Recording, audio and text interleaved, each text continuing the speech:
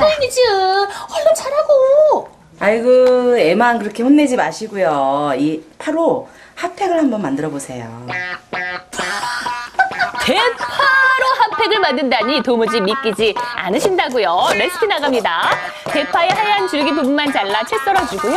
프라이팬에 소금과 함께 숨이 죽을 때까지 볶은 다음 수건에 감싸주기만 하면 간단하지만 효능은 대파의. 아래 하얀 오. 부분을 총백이라고 하는데 이 총백의 기운은 따뜻하고 목 뒤에 대주게 되면 황화알이라는 성분이 있어서 진정작용을 나타내기 때문에 불면증을 예방하고 치료하는 효과에도 도움이 됩니다. 이뿐만이 아닙니다. 건강에 좋은 이 파츠로도 간편하게 찜질팩을 만들 수 있는데요.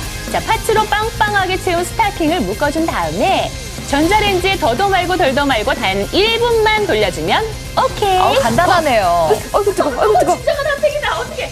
다른 전용 찜질팩보다 현, 편리함도 따뜻함도 두 배라는데요.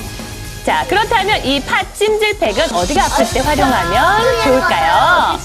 팥이나 녹두와 같이 껍질이 단단한 곡물들은요 열을 오랫동안 간직하는 효과가 있기 때문에 아랫배의 차가운 증상을 없애서 생리통에도 도움이 되고 근육통에도 도움이 되기 때문에 여러 가지 용도로 활용할 수 있습니다. 올겨울은 핫팩 활용법으로 건강 챙기세요.